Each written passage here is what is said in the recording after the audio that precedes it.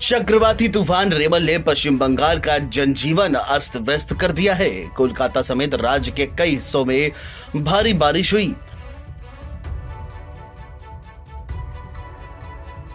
वहीं तूफ़ान के कारण नेताजी सुभाष चंद्र बोस एयरपोर्ट से कई उड़ानों को रद्द कर दिया गया।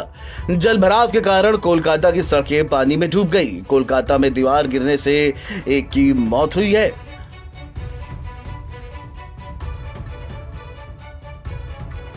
आईएमडी के अनुसार सोमवार के सुबह चक्रवात रिमल कमज़ोर हो चुका है, मगर तूफ़ान के कारण बंगाल के कई जिलों में अगले 24 घंटे बारिश होगी।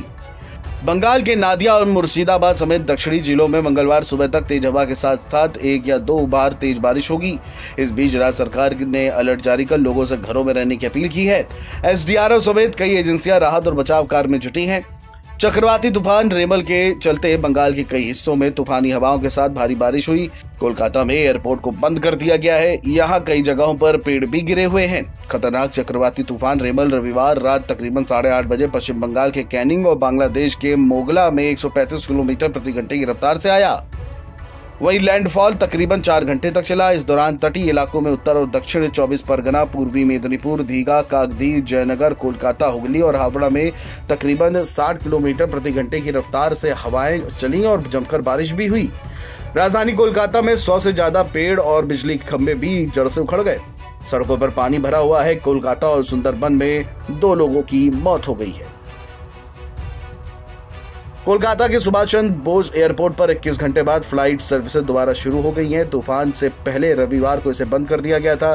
तकरीबन 400 फ्लाइटों को भी कैंसिल किया गया। कोलकाता में रविवार सुबह साढ़े आठ बजे और सोमवार सुबह साढ़े पाँच बजे के बीच 146 मिलीमीटर बारिश दर्ज की गई। हल्दिया में 110 और ताल्लुक में 77 मिलीमीटर बारिश दर्ज हुई।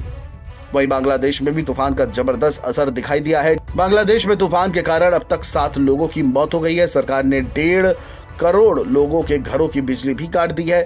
वहीं मौसम विभाग के मुताबिक गंभीर चक्रवाती तूफ़ान रिमल सोमवार सुबह कमज़ोर होकर एक चक्रवाती तूफ़ान में बदल गया है। अब ये नॉर्थ ईस्ट की ओर 15 किलोमीटर प्रति घंटे की रफ्तार से बढ़ रहा है। यानी बंगाल से लगे त्रिपुरा, असम, मेघालय, सिक्किम में इसका असर रहेगा।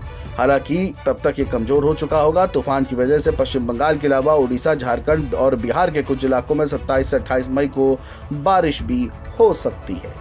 हालाँकि बंगाल में चक्रवाती तूफ़ान रेमल के चलते अब तक चार लोगों की मौत भी हो चुकी है। Video desk NBT online.